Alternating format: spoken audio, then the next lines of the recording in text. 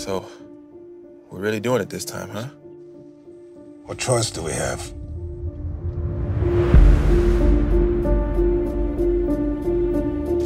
Marcus! I didn't expect you, buddy. I'm gonna have to get a new belt. You know, I was 60 pounds lighter when I started this job. Hey, good luck. After we do this, am I gonna be better off? Can't imagine it getting much worse. I have a child, a daughter, not a wife. I had it all. So, we really doing this?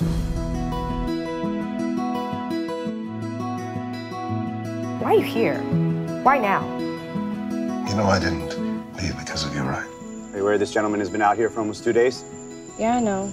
He's my father. He's fine. You've got to stop shaming this. It's the only way it'll ever get better. But before that can happen, you've got to stop being ashamed of yourself.